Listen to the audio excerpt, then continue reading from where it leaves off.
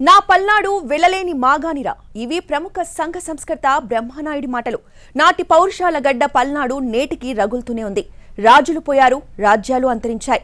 పల్నాడు చరిత్ర రక్తాక్షరాలను లిఖించుకుంది. నాటి రక్తపుటేరులు నేటికి పారుతున్నాయి.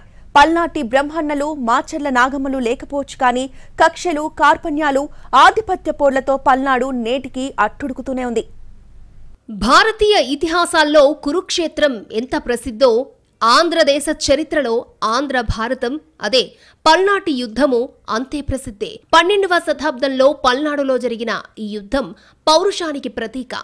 రాజకీయ సాంఘిక మత మార్పులకు దోహదం చేసిన కీలక యుద్ధం.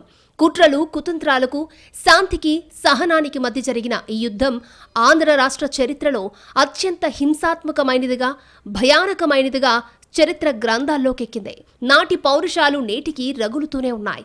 ఆధిపత్యం కోసం మీసాలు మేలేస్తూనే ఉన్నారు. తలలు తెగి నేలపై పడుతూనే ఉన్నాయి. ప్రాణాలు పిట్టల్లా రాలిపోతూనే ఉన్నాయి. నాడు బ్రహ్మనాయుడు ధాటికి నాగమ్మ రణక్షేత్రం వీడి పారిపోతే నేడు ఫ్యాక్షన్ కక్షలో పురిటి గడ్డపైనే ప్రాణాలు కోల్పోతున్నారు ప్రత్యర్థులు.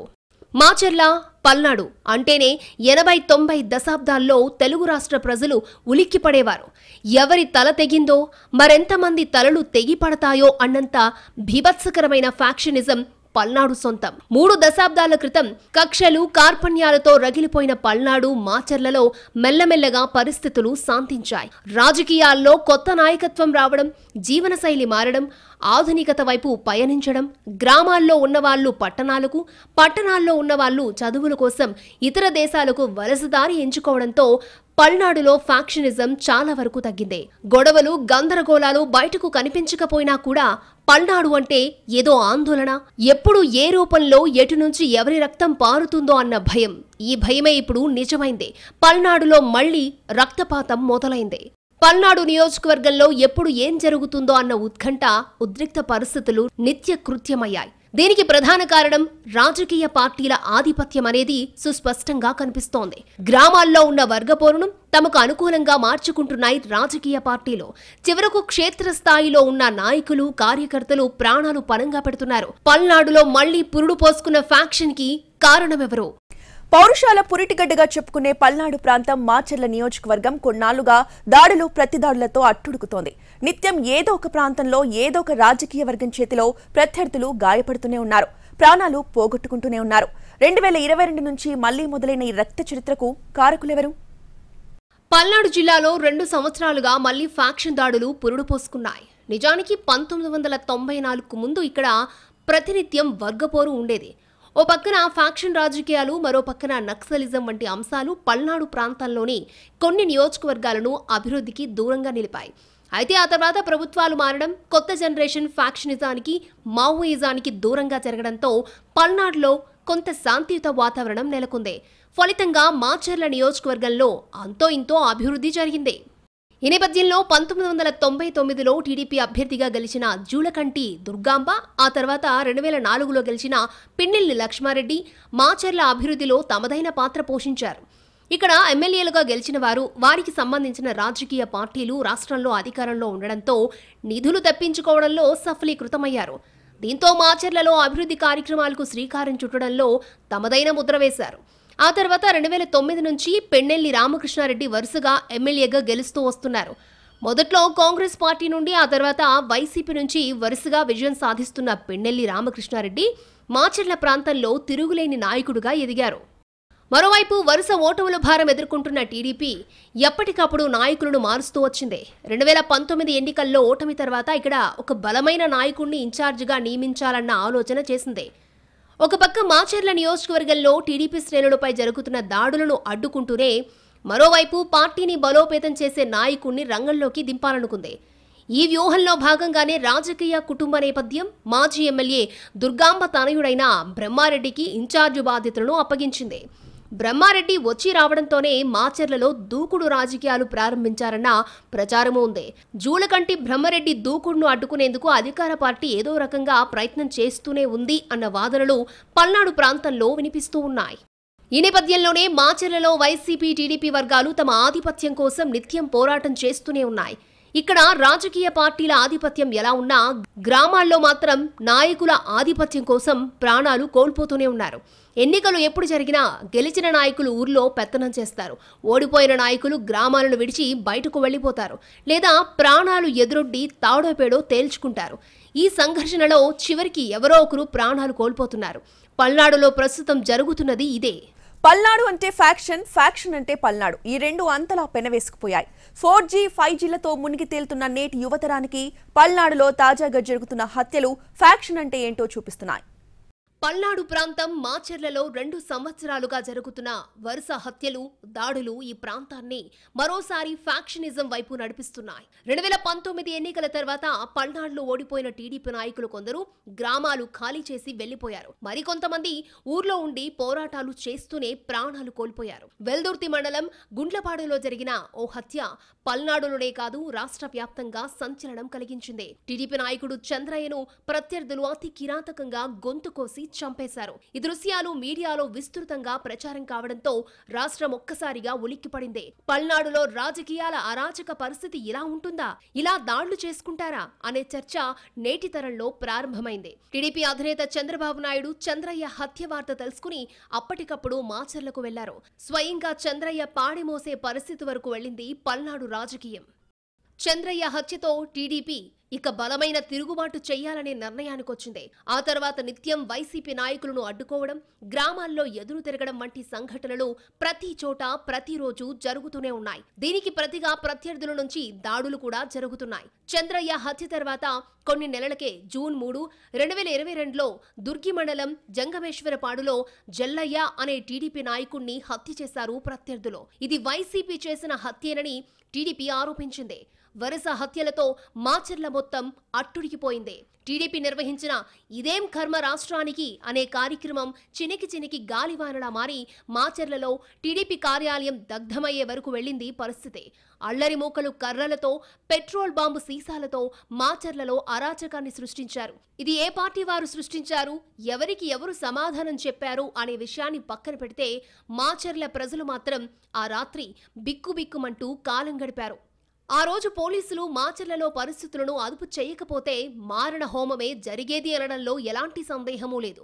ఈ రోజు మొదలైన ఈ వివాదాలు విధ్వంసాలు నేటికి కొనసాగుతూనే ఉన్నాయి. ఈ మధ్య మరోసారి దుర్గి మండలంలో టీడీపీ నాయకులపై దాడి ఆ వెంటనే రెంటచింతల మండలం మంచికలలో వైసీపీ నాయకులపై దాడి వంటి ఘటనలు జరిగాయి. దీన్ని బట్టి మాచర్ల రాజకీయ నిజ స్వరూపమేంటో తెలుస్తోంది.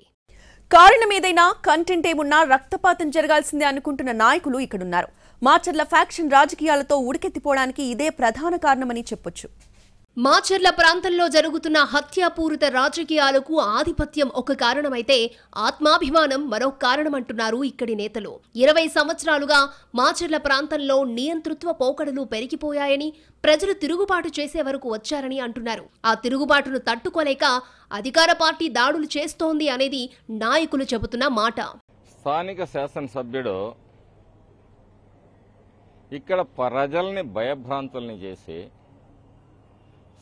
స్థానిక సంస్థల ఎన్నికల్లో బుద్ధా వెంకన్న గారు బోండా ఉమా గారు ఇక్కడ ఎన్నికల పరిశీలనకు వచ్చిన సందర్భంలో మరి వారి మీద దాడి చేసిన విధానం.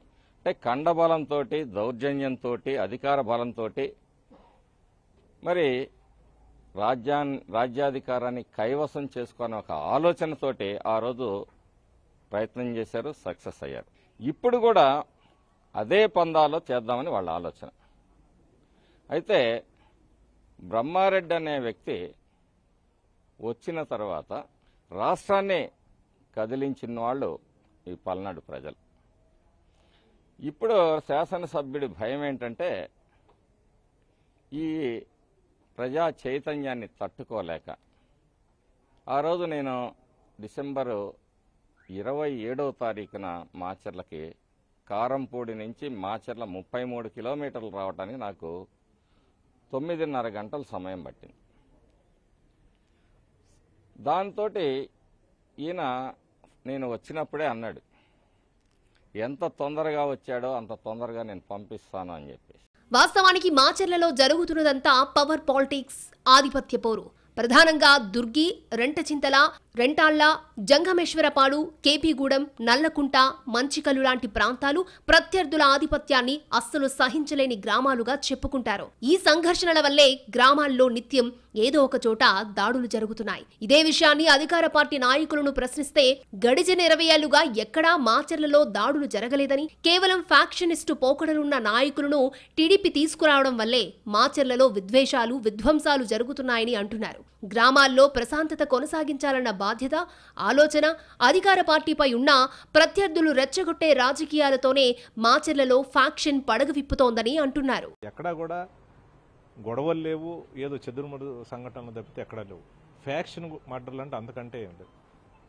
అంతకుముందు రెండు వేల నాలుగు ముందు అనేక రకాలుగా ఫ్యాక్షన్ మర్డర్లు జరిగిన మాట వాస్తవం. ఇదే బ్రహ్మారెడ్డి వాళ్ళమ్మ ఎమ్మెల్యేగా ఇక్కడ ప్రాతినిధ్యం వహిస్తున్నప్పుడు చంద్రబాబు నాయుడు ముఖ్యమంత్రిగా ఉన్న పరిస్థితుల్లో ఒకే రోజు ఒకే గ్రామంలో ఏడుగురిని హత్య చేసిన పరిస్థితి.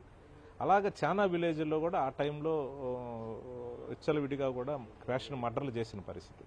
రెండు వేల నాలుగు కాంగ్రెస్ పార్టీ అప్పుడు రాజశేఖర రెడ్డి గారి నాయకత్వం అధికారంలోకి వచ్చిన తర్వాత మా పెదనాన్న ఎమ్మెల్యేగా అయిన తర్వాత ఆ రోజు నుంచి కూడా ఎక్కడ ఫ్యాక్షన్ జోలి పోకుండా ఏదన్నా చె- సంఘటనలు జరిగితే అక్కడ వాళ్ళందరినీ కూడా రాజీ చేసేసి ప్రశాంతంగా ఉండటానికి మేము ప్రయత్నం చేస్తూ వచ్చాం. అలాగనే రెండు వేల తొమ్మిదిలో మొదటిసారి నేను శాసనసభ్యుడిగా అయిన తర్వాత అంటే దరిదాపుగా పదిహేను సంవత్సరాలు అవుతా ఉంది. ఒక్క పదమూడు సంవత్సరాలు ఎలాంటి గొడవలు లేని పరిస్థితి. కానీ ఇదే బ్రహ్మారెడ్డి రెండు వేల తొమ్మిదిలో నా మీద ఓడిపోయాడు రెండు వేల నాలుగులో మా పెదనాన్న మీద ఓడిపోయాడు. మళ్ళీ ఈరోజు చంద్రబాబు నాయుడు కావాలని ఇక్కడ గొడవలు పెట్టాలని అతన్ని ఇన్ఛార్జిగా ఇక్కడ వేసి అతను వచ్చిన తర్వాతనే రెండు మూడు గ్రామాల్లో ఫ్యాక్షన్ని పాత ఫ్యాక్షన్ని మళ్ళీ కూడా గ్రూపుల కోసం ఈయన అవసరాల కోసం ఈరోజు గ్రూపులను రెచ్చగొట్టి గొడవలు చేసే పరిస్థితి కానొస్తా ఉంది. ఓవైపు దాడులు ప్రతిదాడులు మరోవైపు ముంచుకొస్తున్న ఎన్నికలు. దీంతో అందరి చూపు మాచర్ల వైపే ఉంది. ఇప్పటికే వరుసగా నాలుగు సార్లు విజయం సాధించిన పిన్నెల్లి రామకృష్ణారెడ్డి ఐదోసారి విజయం సాధిస్తారా? లేక టీడీపీ ఏరి కోరి తెచ్చుకున్న అభ్యర్థి జూలకంటి బ్రహ్మరెడ్డి మాచర్లపై ఆధిపత్యం సాధిస్తారా అన్న ప్రశ్న పల్నాడులో తీవ్ర చర్చకు దారితీస్తోంది. రాబోయే ఎన్నికల్లో ఏ స్థాయిలో గొడవలు ఘర్షణలు జరుగుతాయో అన్న భయంతో బిక్కుబిక్కుమంటోంది మాచర్ల. పల్నాడు ప్రాంతం మార్చిలలో తాజా రాజకీయ పరిస్థితిపై మరిన్ని వివరాలు మా ప్రతినిధి కృష్ణ అందిస్తారు. మొత్తంగా పల్నాడు జిల్లా మాచెరలో రెండు పార్టీలు రెండు రకాలుగా చెప్తున్నాయి. ఒకటి ఆత్మరక్షణ ధోరణిలో టీడీపీ నాయకులు ఉన్నామని చెప్తుంటే అదేవిధంగా మాచెర్ల ప్రాంతంలో అభివృద్ధే ప్రధాన ఎజెండాగా మేము ముందుకు వెళ్తున్నాం. గ్రామాల్లో ఉన్నటువంటి వర్గపోరు ఏదైతే ఉందో అదే ఫ్యాక్షన్ పాలిటిక్స్గా మారిందనేది అధికార పార్టీ చెప్తా ఉంది. ఈ నేపథ్యంలో రాబోయే ఎన్నికల్లో పోలీసులు ఎలాంటి చర్యలు తీసుకుంటారు? మాచర్ల నియోజకవర్గంలో ఎన్నికలు ప్రశాంతంగా జరుగుతాయన్నది మాత్రం ఇప్పుడు పెద్ద ప్రశ్నార్థకంగా మారింది. ఇలాంటి పరిస్థితుల్లో అంటే రోజుకొక గ్రామంలో ధర్నాలు రోజుకొక ప్రాంతంలో గొడవలు ఘర్షణలు జరుగుతున్న మాచర్ల లాంటి నియోజకవర్గాన్ని పోలీస్ శాఖ ప్రత్యేక దృష్టితో చూడాలనేటువంటి డిమాండ్ కూడా వస్తోంది కెమెరా పర్సన్ నాగరస్తో కృష్ణ ఎన్టీవీ పల్నాడు. ఇది వాళ్ళ ఫోకస్. నమస్తే.